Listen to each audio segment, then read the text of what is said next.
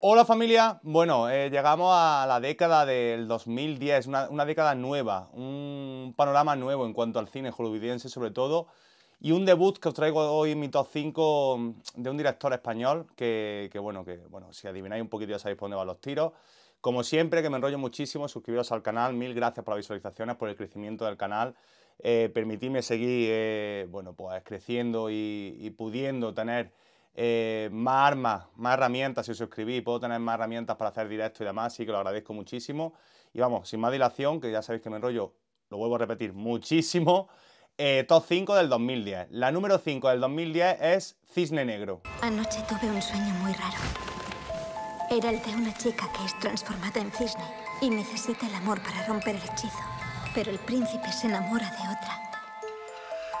Y ella se suicida. Bueno, The Black Swan. Em, ya hemos hablado en el canal, de hecho creo que en un par de ocasiones, en estos tops, de Darren Aronofsky. Debutó con la maravillosa Pife en el caos, después nos regaló esa oda a antidroga, antiadicciones, que fue Requiem por un sueño, y después El luchador con, un maravilloso Mickey Rourke. Pues de nuevo traemos para mí su obra cumbre hasta el momento. No la película que más me gusta, más me interesa, pero sí es su obra cumbre, su obra magna, que es, sin lugar a dudas, este cine negro con Natalie Portman, ganadora del Oscar, por cierto, por esta actuación, Mila Kunis o un maravilloso, bueno, Bárbara Hershey o un maravilloso Vincent Castle. Nada más que la presencia de Vincent Castle en la pantalla ya transmite mal rollismo, como digo yo. Tiene esas facciones, esa cara, ¿no? Eh, ese tipo que parece que, aunque estamos en el 2024, parece un hombre de 1950. Pero bueno, vamos allá. Eh, Cine Negro nos habla, bueno, pues se han, hecho, se han hecho muchas adaptaciones, no solamente Alicia en el País de las Maravillas de Tim Burton, sino Hard Candy o Winter's Bone, de, novelas, de cuentos, de hadas, ¿no? Pero un poquito más eh, sórdido. En esta ocasión me parece una adaptación, un cuento total.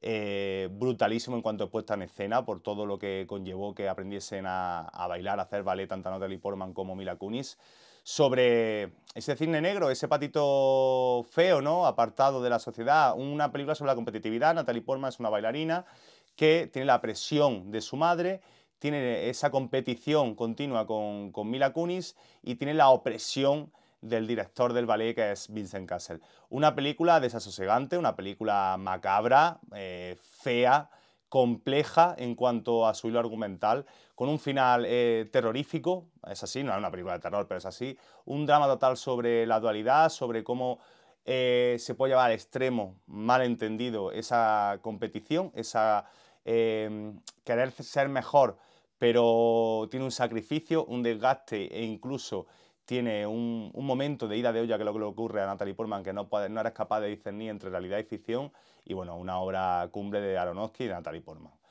La número 4 del 2010 es The Fighter. Este es mi hermano pequeño. ¿Me ayudas a acabar esto? Le he enseñado todo lo que sabe. ¿Aún no sabes cómo acaba esta pelea? ¡Se acabó! Aún sigo entrenando. Tengo un combate la semana que viene y cuando lo gane empezaré a tener dinero. Estaremos juntos más tiempo, ¿vale? ¡Suerte, papá! No te hagas. The Fighter, David o Russell. Bueno, David o Russell ya vendrá, no voy a develar nada, ya vendrá en vídeos venideros porque aquí tuvo un impacto en el 2010. Venía de haber hecho Tres Reyes, no sé si recordáis aquella película con Mark Wahlberg, George Clooney y Ice Cube, una sátira eh, sobre, bueno, pues sobre los militares, ¿no? sobre el ejército, con un robo de por medio, muy divertido, también muy recomendable. Pero llegó el 2010 y nos regaló esta de Fighter, que está basada en hechos reales, una película que va paralela entre la década del 80 y la década de los 90, con Mark Wahlberg, Christian Bale, eh, Amy Adams como principales protagonistas, o Melissa Leo como la madre de, de Mark y Christian Bale. Christian Bale, que aquí ganó el Oscar Mejor Actor Secundario, me parece que merecidísimo. De hecho, me parece una película eh, hecha por y para Bale. Aquí también, como siempre, a ser que actor del método, eh, se sumergió en un personaje que tuvo que adelgazar mucho, azotado por drogadicción, por alcoholismo, por una familia desestructurada. Al final, eh, bueno, se le nota mucho la caracterización y la capacidad que tuvo de nuevo para adelgazar y, parecer ese tipo, bueno, pues que ha estado muy desgastado, ¿no? La historia de esos dos hermanos, Christian Bale fue un boxeador de mucho éxito porque ganó en, su, en, su, población, en su localidad, es un ídolo porque ganó en su momento a Sugar Ray, que era el campeón de los pesos pesados. Y Mal Wolver es su hermano eh, que intenta, bueno, pues seguir la estrella de la familia, ser un boxeador, pero siempre con eh, el peso de ser como tu hermano, llegar a ser el mejor, y encima el hermano lo quiere entrenar y es su entrenador, pero bueno, llega un momento en el que deciden que punto y aparte porque, eh, porque no, porque la vida, lo que le transmite y cómo está encima de él y, la falta de, rutina, la falta de compromiso de Christian Bale hace que Mal Wolver no pueda llegar a ser nada. ¿no? Fantástica Melissa Leo como la madre de ambos. Una película que roza, no esperáis grande espectacularidad como otras películas como Redención, de boxeo, incluso Million Dollar Baby. Está más cerquita la obra de Clint Eastwood mm, que quizá Rocky o la que comentaba antes, porque una película básicamente es un drama, un drama familiar sobre eh, los lazos que unen a dos hermanos y cómo uno intenta, por encima de todo, a pesar de su, la, problemática de su vida, pues al final quiere lo mejor para su hermano. Fantástico, Robert Cena, Christian Bale, para mí está por encima del resto del reparto y una película maravillosa del 2010. La número 3 del 2010 es Buried, Enterrado. Soy de Hastings, Michigan. Trabajo para CRT. A mi convoy le han tendido una emboscada. Estoy atrapado en un ataúd bajo tierra y necesito ayuda. Por favor, envíen a alguien, se lo suplico. ¿Cómo ha acabado en el ataúd? Me han encerrado aquí. Bueno, Rodrigo Cortés tan de moda ahora por su fantástica, maravillosa, que aconsejo mucho que vayáis al cine a ver, Escape, con Mario Casa. Bueno, eh, mm, esto tiene muchas connotaciones, esta película. Para empezar, es que Ryan Reynolds, el, el gran, iba a decir el gran, y único protagonista de la película, se enamoró del guion, se rebajó el sueldo y fue el que se postuló porque Rodrigo Cortés quería un actor de Hollywood para ser el protagonista.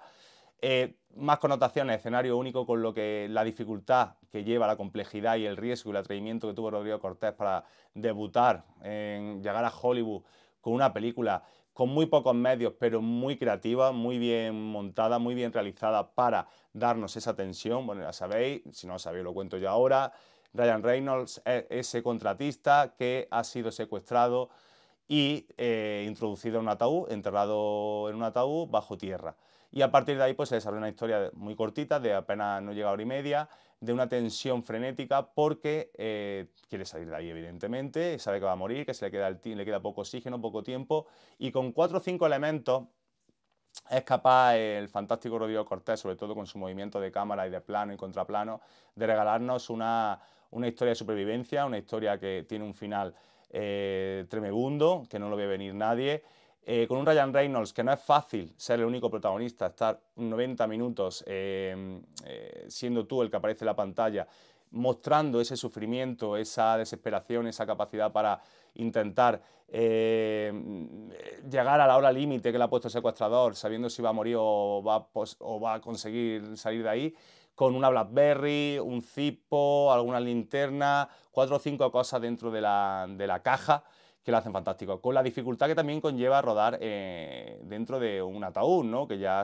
hay por ahí algún making of que os recomiendo mucho, que nos demuestra la habilidad de Rodrigo Cortés porque fue muy difícil y fue sin lugar a duda una película para mí cumbre de la filmografía de, de Rodrigo Cortés, sin lugar a duda, y sobre todo de Ryan Reynolds por la dificultad de su interpretación. La número 2 del 2010 es Origen. Hay algo que deberías saber de mí. Estoy especializado en un tipo de seguridad muy específico.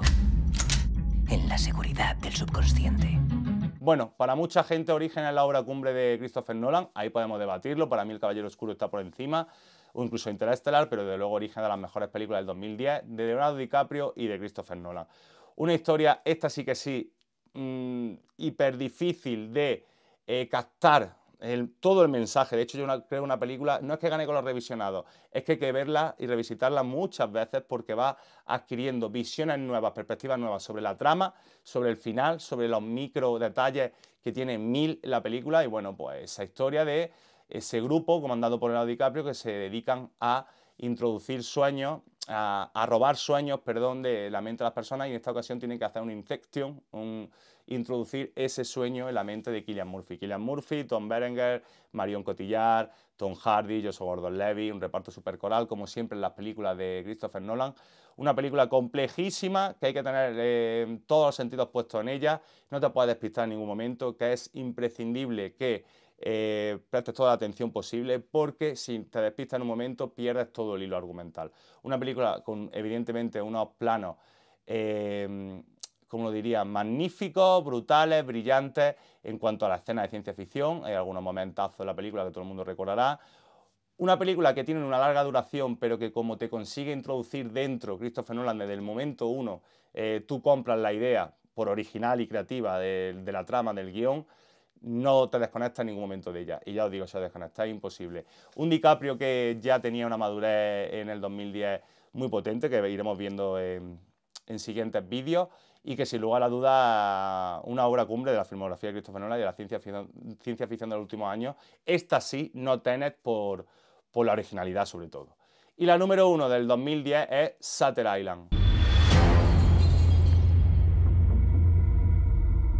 Ponme un antecedente sobre la institución. Solo sé que es un psiquiátrico. Para delincuentes perturbados. Bueno, de nuevo Leonardo DiCaprio. Martin Scorsese, ¿vale? 2010, Martin Scorsese. Para mí Martin Scorsese, a pesar de que no sea esta una película eh, lejana al tono de su filmografía, sí que verdad que puede ser un, caso peculiar, un caso distinto, ¿no? ¿Por qué? Pues porque al fin y al cabo aquí no hay mafia, no hay, no. Eh, lo que quiero decir es que una historia detectivesca que Martin Scorsese se había alejado de mm, quizás de un thriller o, de, o del suspense más puro y duro desde los años 80 no había vuelto a tocar algo así, bajo mi punto de vista. Quizás su obra más parecida o que pueda tener algún paralelismo en cuanto al suspense, la intriga y tal, puede ser Cabo del Miedo, pero bueno, habían pasado 20 años. Pero bueno, Mark Ruffalo y Leonardo DiCaprio son dos investigadores que van a esa, esa isla, ¿no? A esa isla, como su propio nombre indica la película, a investigar por qué en un manicomio, ¿no? Pues ha habido una muerte. A partir de ahí puedo hablar poco de la película, de lo que es la trama, porque si no, eh, destriparía prácticamente todo, todo. De hecho, yo recomendaría que no viese ningún tipo de tráiler. Es verdad que tiene un final de los mejores de la historia, para mí es así, por lo menos de los mejores del siglo XXI sin lugar a duda. Yo no lo vi venir, conozco gente cercana que cuando lo vio sabía lo que iba a ocurrir. Una película que se comparó, eh, se ha comparado con otra española muy reciente que es La Orangular Torcida de Dios. Para mí puede tener punto de comparación por dónde se desarrolla la trama y quizá alguna puesta en escena, pero no me parece similar. Pero bueno, Satter Island un, eh, un camino que recorre, un pasaje de, DiCaprio en su carrera, diferente por un estado de locura en el que vemos durante toda la película su personaje, quizás cercano al que veíamos en la playa de Danny Boyle, pero claro, eh, con una madurez que no tenía en la playa. ya es un chico joven que quizás ese ímpetu le hacía mostrar esa locura con un, tono en la película que sí que es cierto que puede recordar cualquier novela detectivesca o de Agatha Christie, por ejemplo, por cómo van, se va desarrollando la investigación, van apareciendo una serie de pesquisas, una serie de personajes, y con también por ahí, que no lo he comentado, Ben Kingsley, que, bueno, su mera presencia en la pantalla siempre, a pesar de que tiene algunas cosas en su filmografía horribles, siempre aporta mucha, mucha, mucho carisma, ¿no? Y por supuesto, la mano de Martin Scorsese, que me parece una de sus mejores películas de los últimos 20 años.